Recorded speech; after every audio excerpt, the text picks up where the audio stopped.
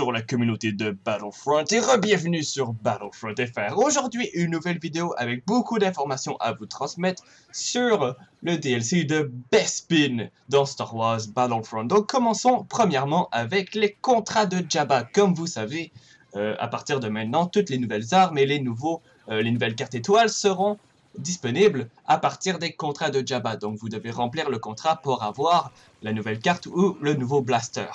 Donc, avec le DLC Bespin, il y a trois cartes étoiles qui sont avec le DLC et une carte étoile gratuite, le Ion Neutraliseur. Et en plus de cela, il y a deux nouvelles armes avec ce DLC.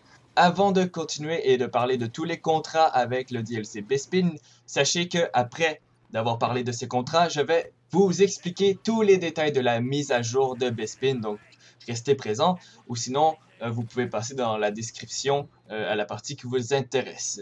Donc, pour débloquer la EE4, vous devez dépenser le contrat qui vaut 3500 crédits.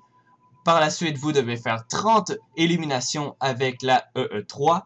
Vous devez aussi faire 3 euh, killstreaks avec les blasters, c'est-à-dire que vous devez faire avec n'importe quelle euh, catégorie de blaster. Un blaster est tout simplement la E11 par exemple, ça c'est un blaster simple. Donc euh, vous devez faire 10 éliminations en une partie pour avoir une série. Et vous devez faire ça trois fois. Donc vous devez théoriquement euh, faire 30 éliminations avec n'importe quel blaster qui ressemble à la E11, comme la A286 aussi par exemple.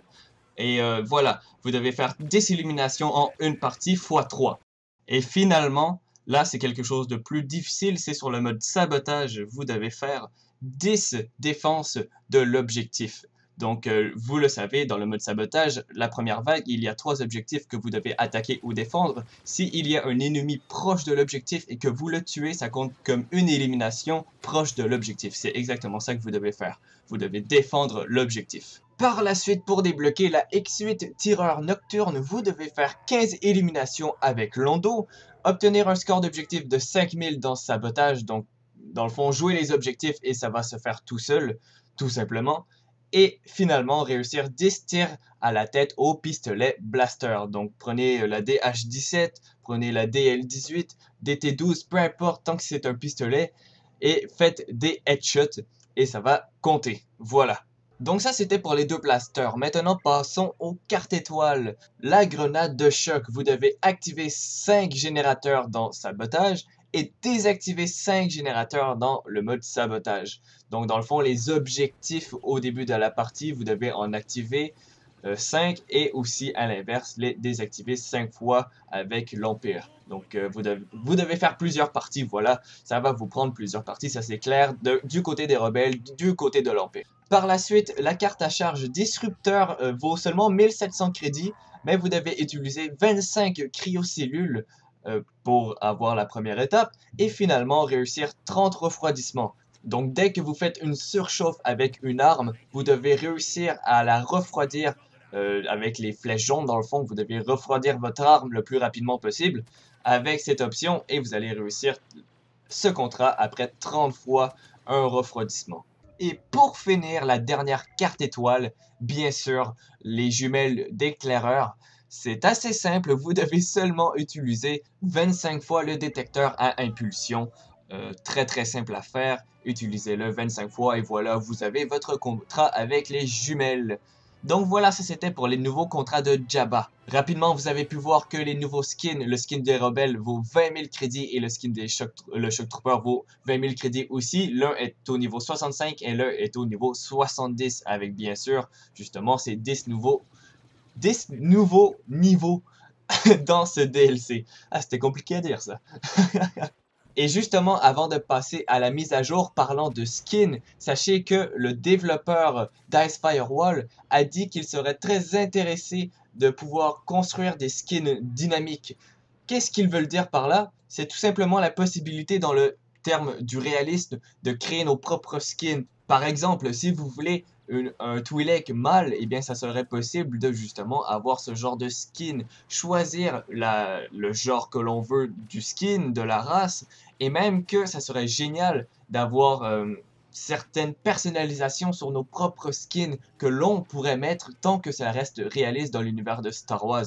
Euh, on pense ici par exemple au tatouage des Abraques. Et même pour les Stormtroopers, ils pourraient avoir euh, une sorte de démonstration du niveau que l'on a, d'une certaine couleur que l'on pourrait avoir sur, je sais pas, sur le casque ou l'épaule. Ça serait génial. Bref, le développeur est d'accord sur ce sujet. Ils vont travailler sur l'aspect d'avoir des skins dynamiques dans le futur. Au moins euh, avant la fin de tous les DLC, ça serait génial.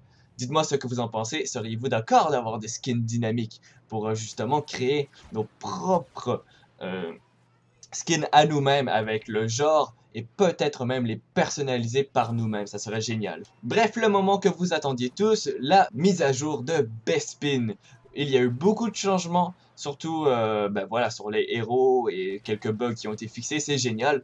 J'en ai parlé beaucoup dans mes dernières vidéos, donc euh, vous allez les voir, ça me ferait vraiment plaisir. Et en même temps, il y a eu beaucoup de détails justement de la mise à jour dans mes dernières vidéos. Donc euh, il en manquera dans cette vidéo, mais il y en avait aussi dans mes autres vidéos et euh, je fais juste parler du principal quoi. Rapidement, vu que j'en ai parlé dans mes dernières vidéos, le système de partenaires a beaucoup beaucoup été amélioré. Maintenant, vos, euh, vos cartes étoiles se rechargent plus vite si vous restez proche de vos partenaires. Il, y a toujours un partenaire avec vous qui vous sera assigné si vous le perdez. Et euh, bien sûr, les écrans de, de réapparition ont été améliorés pour réapparaître sur votre partenaire. Bref, vraiment des choses très cool de leur part et ça va vraiment aider le teamplay, croyez-moi. Les parties privées ont eu beaucoup d'améliorations. Euh, les DLC Bespin et to Rim ont été ajoutés dans les parties privées. C'est génial d'ailleurs. Et bien sûr, vous pouvez choisir vos maps et vos modes dans l'ordre que vous voulez maintenant. Allez le tester, vous allez voir, ça vaut quand même la peine de voir tout ça. Par la suite, sachez que les bugs d'invincibilité ont été complètement euh, effacés, il n'y en a plus, c'est réglé, tant mieux, parce que ça m'arrivait de temps en temps d'en voir. Les véhicules des rebelles euh, aériens, comme vous les savez, ils ont des boucliers. Maintenant, lorsque le X-Wing ou le A-Wing ou même le, Millennium, euh, le Faucon Millennium ont leur bouclier d'actif, eh bien, ils perdent 25% de leurs dégâts avec toutes leurs habilités. Donc dans le fond, euh, votre attaque de base, vos missiles perdent 25% de dégâts lorsque vous avez votre bouclier qui est activé. Vraiment euh, un, bon commencement je trouve pour le patch des véhicules des rebelles. Ça va vraiment améliorer le gameplay, surtout en escadron de chasseurs. C'est génial. Maintenant, le balancement des équipes a été vraiment bien créé. Je pense qu'à partir de maintenant, lorsque vous changez de mode ou de, de partie, s'il y a un trop grand déséquilibre dans une, équipe, il y aura une espèce d'équilibrage qui va se faire. Bref, on verra si ça marche pour vrai. Mais bon, bref. Lorsque euh, quelqu'un atteint le niveau 3 de son attribut, vous allez voir au-dessus de sa barre de vie qu'il a atteint le niveau 3 de son attribut. Donc vous devez faire attention à cette personne. C'est très important vous pouvez dorénavant passer euh, toutes les informations que vous avez après avoir fini une partie. Par exemple, avec vos contrats de Java, vous pouvez maintenant appuyer sur le bouton euh, passer. Et maintenant, justement, ça va vous faire passer toutes ces informations-là pour euh, réapparaître directement dans le jeu la manche suivante. Je vous le rappelle maintenant, n'importe quelle carte à charge comme le bouclier personnel peut être désactivée en pleine utilisation. Il faut appuyer sur le bouton Y, sur le bouton triangle ou sur 2 sur PC pour le désactiver. Une, une option très cool.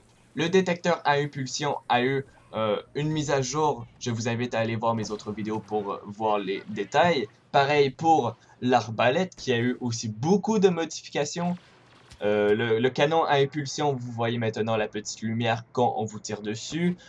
Et bien sûr, les tirs explosifs, c'est confirmé maintenant. À chaque fois que vous activez un tir explosif sur votre arme, votre blaster va maintenant surchauffer beaucoup plus rapidement. Très bel ajout. Maintenant, c'est fini le spam du tir explosif. Génial. Maintenant, un très gros patch pour l'attribut Berserker. C'est très important parce qu'elle était un peu trop cheatée, même si on aimait ça quand même. Bref, l'attribut a été modifié. Maintenant, pour que l'effet s'applique sur Berserker, vous devez avoir au moins 78% et moins de votre vie qui vous reste. Donc s'il vous reste plus de 78% de vie, l'effet Berserker ne va pas s'activer. Très bel ajout. Et euh, finalement, la DLT 19 a eu une amélioration. Elle fait dorénavant 17 dégâts alors qu'elle faisait 15 dégâts avant par euh, laser. Ce qui fait 2 dégâts supplémentaires. Rien de trop gros non plus. C'est parfait, ça va, on va voir la différence, je vais aller la tester tantôt. Bref, le moment que vous attendiez tous, la mise à jour des héros. Beaucoup de changements pour les héros, attention. Premièrement, le canon à impulsion euh, a une réduction de dégâts sur les héros. C'est passé de 150% à 80% de dégâts, ce qui est un, changement très bien pensé de la part de DICE parce que c'était complètement trop abusé, euh, les dégâts du canon à impulsion sur les héros. Palpatine, oh oui, vous avez bien entendu, Palpatine a beaucoup de changements. Sachez que euh, la longueur de ces éclairs dure beaucoup plus longtemps. C'est passé de 4 à 7 secondes que vous pouvez utiliser ces éclairs. Et par éclair, ici, je parle bien sûr de son attaque de base. Donc maintenant, son attaque de base dure beaucoup plus longtemps. Euh, non seulement en plus qu'elle dure plus longtemps, mais elle fait 2 dégâts supplémentaires. C'est passé de 20 dégâts à 22 dégâts. Et finalement, ces éclairs se rechargent beaucoup plus vite avant, ça prenait 4 secondes avant que ces éclairs se rechargent. Maintenant, ça prend 2 secondes. Donc, ces attaques de base seront beaucoup mieux. Palpatine sera beaucoup mieux gérable en tant que héros. Et c'est quand même l'empereur, donc c'est normal que l'empereur soit puissant. Voilà, un petit changement pour lui, ça va lui faire du bien. Passons à Boba Fett. Son lance-flamme est passé de 2.5 à 4.5 secondes euh, en longueur.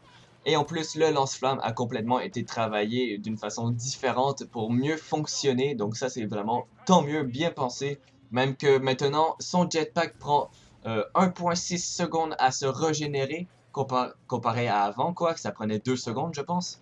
Donc un petit boost pour son jetpack. Et bien sûr, son missile maintenant est redevenu autoguidé. Euh, il fait, je pense, plus de dégâts, ou il va jusqu'à une certaine distance. Bref, une claire amélioration pour Boba Fett. En termes de mode de jeu, sachez que Escadron de chasseurs est passé du, de 200 points à 400 points pour gagner une partie. Le mode course aux droïdes a complètement été retravaillé. Maintenant, si vous capturez les 3 droïdes, ça ne va pas terminer la partie après 20 secondes. Non, non, c'est rendu que ça va dorénavant accumuler des points. Et la première personne, euh, la première équipe qui atteint 100% des points gagne. Et si aucune des deux équipes n'atteint 100% des points, eh bien c'est l'équipe qui a le plus de points avant que le temps euh, ne finisse qui remporte la partie. Vous allez comprendre en jeu. C'est vraiment un changement très bien apprécié qui fera beaucoup du bien à ce mode. D'ailleurs, beaucoup de petits bugs ont été fixés dans beaucoup de modes, de jeu. Euh, héros versus vilain, le temps a été augmenté en début. Euh, le temps a été modifié entre les vagues. Donc vraiment, héros versus vilain a eu beaucoup de changements en termes de bugs, c'est beaucoup mieux maintenant. Quand vous finissez une partie, ça vous disait le nombre d'éliminations et le nombre de morts que vous faites maintenant. Il y a beaucoup plus de détails qui a été euh, ajouté, comme euh, le nombre de points d'objectif que vous avez fait, le nombre d'assists, etc., etc. Vous allez voir ça, c'est euh, vers la fin, fin, fin, avant qu'une partie commence, quoi.